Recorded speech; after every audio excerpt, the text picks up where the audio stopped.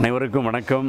இன்னைக்கு எங்கள் புதுக்கோட்டை கரம்பக்குடி தாலுக்கா கலபம் கிராமம் அதாவது நான் பிறந்த கிராமத்தில் இன்றைக்கி எங்கள் வீட்டு விசேஷம் நல்ல சிறப்பாக நடந்துகிட்ருக்கு என்ன விசேஷம்னு கேட்டால் என்னோட தங்கச்சி திருமணம். நிறைய பேருக்கு உங்களுக்கு தங்கச்சி தேன்மொழி தானே அப்படிங்கிற மாதிரி தான் எல்லாம் நிறைய பேருக்கு தெரியும். ஆனால் அதுக்கப்புறமா இன்னொரு தங்கச்சி இருக்காங்க. அது நிறைய பேருக்கு தெரியாது.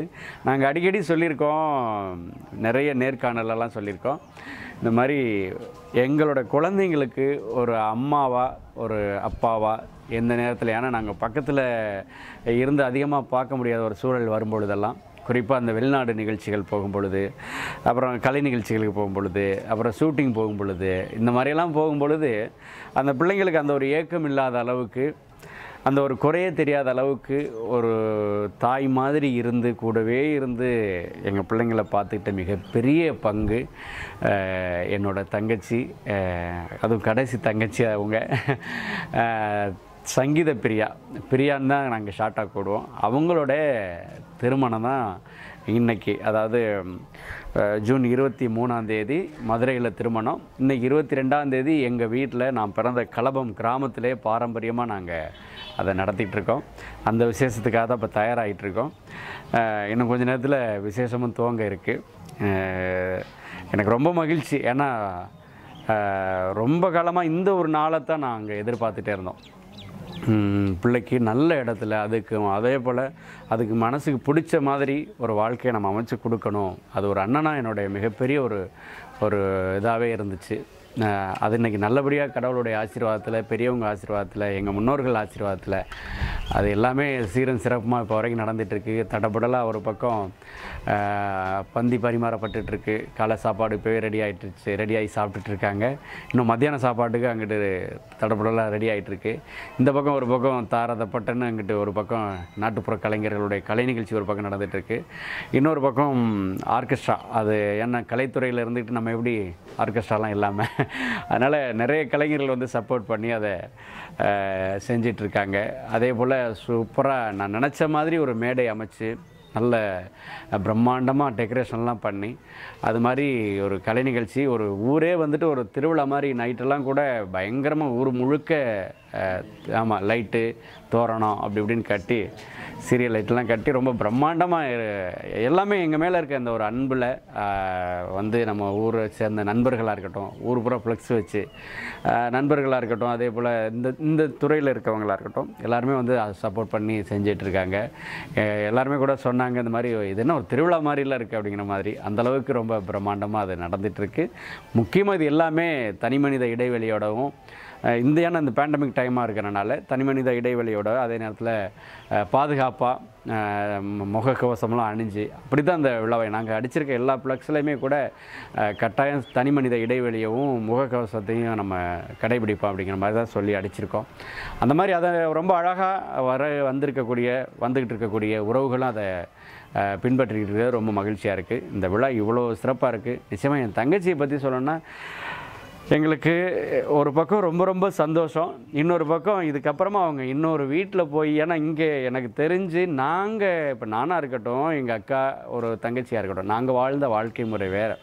ஏன்னா அப்போது இருக்கிறத வச்சு நாங்கள் வாழ்ந்து வந்துட்டோம்.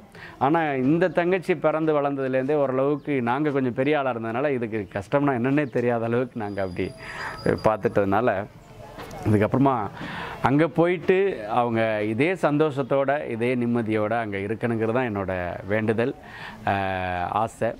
அது நிச்சயமாக அந்த கடவுள் அது மாதிரியான வாய்ப்பை இப்போ கொடுத்துருக்காரு. இதே மாதிரி கொடுத்துக்கிட்டே இருப்பாருன்னு நம்புகிறேன் தங்கச்சி அங்கே போய் நல்லா சந்தோஷமாக வாழணும்னு கடவுள்கிட்ட நான் எப்போவுமே வேண்டிக்கிறேன். ஏன்னா ஒரு அண்ணனா இல்லை ஒரு அப்பா ஸ்தானத்துலேருந்து ஒரு அம்மா ஸ்தானத்துலேருந்து தான் நானும் என் மனைவியும் அதை செஞ்சிட்ருக்கோம். கண்டிப்பாக அந்த போ என் தங்கச்சியோட மனசுக்கு எங்களுடைய வேண்டுதலுக்கு எல்லாமே நல்லதாகவே நடக்கும்னு நம்புகிறோம் என்ன இதுக்கப்புறமா என்ன சொல்கிறது இழப்புன்னு சொல்ல முடியாது. ஒரு பக்கம் சந்தோஷம் இன்னொரு பக்கம் என்னென்ன ஒரு இதுன்னா எங்கள் கூடவே இருந்துட்டு இப்போ அங்கே போய் இருக்கிறாங்க. என் தங்கச்சி இங்கே அதுக்காக தான் நான் சொல்லிகிட்டே இருப்பேன். ஓரளவு பக்கத்தில் போயிட்டு பார்க்குற நினச்ச உடனே பார்க்குற மாதிரி ஒரு இடமா தான் நான் தங்கச்சி பார்க்கணுன்னு சொல்லி முடிஞ்ச வரைக்கும் பார்த்துட்டு இருந்தேன். இப்போ மதுரையில் கொடுக்குறோம். மதுரையும் ஒன்றும் ரொம்ப தூரம் இல்லை. இப்போ ஒரு அழுத்த அழுத்தினோம்னா போய் போய் பார்த்துட்டு வந்துடலாம். ஒரு மூணு மணி நேரம் நாலு மணி நேரத்தில் போய் பார்த்துடலாம் தங்கச்சியை. ஆமாம் அது ஒன்று தான் சரி. இது இவ்வளோ தூரத்தில் இருக்கேங்கிறது மட்டும்தான் எனக்கு கொஞ்சம் ஒரு சின்ன ஒரு பக்கமாக ஒரு இதாக இருக்கே தவிர மற்றபடி அவங்க வீட்டு பக்கமுமே கூட ரொம்ப அன்பானவங்க மாப்பிள்ளை வீட்டு பக்கமும். ரொம்ப அவங்கள உண்மையிலே சொல்லி ஆகணும். அவங்களும் ஒரு அவங்க பொண்ணை பார்க்குற மாதிரி தான் பார்க்குறாங்க பார்த்துட்டு இருக்காங்க. நிச்சயமாக இதுக்கப்புறம் அப்படி தான் பார்ப்பாங்க அந்தளவுக்கு எங்கள் பொண்ணும் அங்கே போய் நல்லா இது பண்ணிகிட்டு இருப்பாங்க.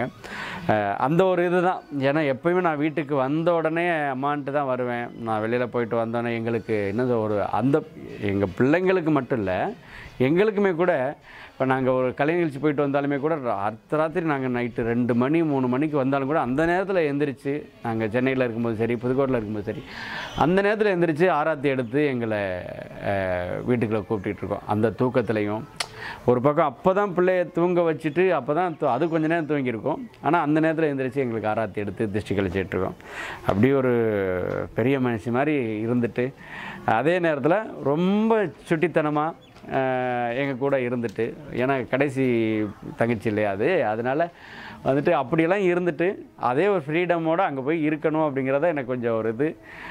அதை நான் ரொம்பவே மிஸ் பண்ணுவேன். தங்கச்சி அங்கே போய் இருக்கிறது சந்தோஷம்னாலும் கூட இந்த மாதிரி எப்பயுமே அம்மா அம்மான்ட்டு நான் எனக்கு நான் என்ன நினைக்கிறேனோ அதை உடனே உடனே வந்து அது செஞ்சிடும் அது நான் ரொம்ப மிஸ் பண்ணுவேன். அது மட்டும் கொஞ்சம் இதாக இருக்குது நிச்சயமாக மற்றபடி ரொம்ப சந்தோஷம். இந்த ஒரு நாளுக்காக தானே நாம் எதிர்பார்த்தோம் காத்திருந்தோம் அப்படிங்கிறதுல. உறவுகள்லாம் வந்திருக்காங்க. எல்லாருடைய ஆசீர்வாதமும் அதுக்கு நிச்சயமாக இருக்கும். கடவுளுடைய ஆசீர்வாதம் அதுக்கு இருக்கணும். உங்களுடைய இதை பார்க்குற உங்களுடைய ஆசீர்வாதமும் அது இருக்கணும். ரொம்ப நன்றி. தங்கச்சி நூறாண்டு காலம் வாழணும் நீங்களும் வாழ்த்துங்க. ரொம்ப நன்றி.